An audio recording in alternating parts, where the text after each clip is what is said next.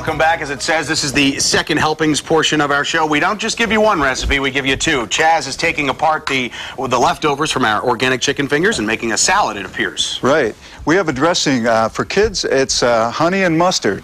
So we want to make that kind of sweet, and you want your vegetables to be accessible to kids.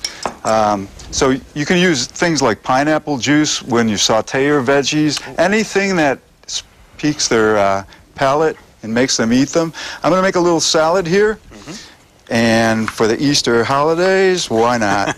okay. I think he's creating some kind of work of art right now, besides the food itself. Doing something with the knife here, but we're uh, basically we're just taking the chicken fingers, so any of this leftover stuff makes a real easy salad. Right. Something for kids here. We're going to use our chicken uh, fingers. We're going to make them a little rabbit salad. Why not? It's Easter, okay? This is good. you know, we want to make this fun for children. That's part of the fun of it is to realize what we're dealing with. A little uh, and, butter and, you know bean for. You said something interesting, and for um, for older people too. It's never too late to continue their cooking. Never, never. We do um, community uh, education courses at NCCC, and also that'll be expanded at the new Culinary Institute of Niagara Falls, 2012, everyone.